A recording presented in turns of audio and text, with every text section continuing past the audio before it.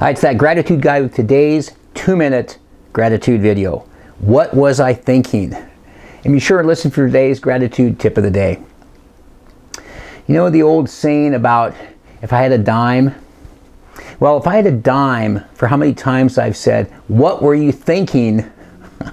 I've made some incredibly boneheaded moves in my life, and I suspect most of us could say the same thing. So, how does embracing a life of gratitude impact those boneheaded moves?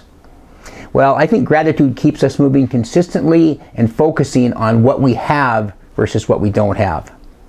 When we have a focus on what we do have, we tend to forget about some of those moves that resulted in a person saying, What was I thinking? Additionally, gratitude encourages us to focus on the positive. and in this case, maybe that's the lesson that we've learned. After all, it's pretty hard to learn lessons every day when everything goes according to plan. Now, the gratitude tip of the day. Use gratitude in a gratitude journal to keep you focused on what you have and the lessons that you've learned.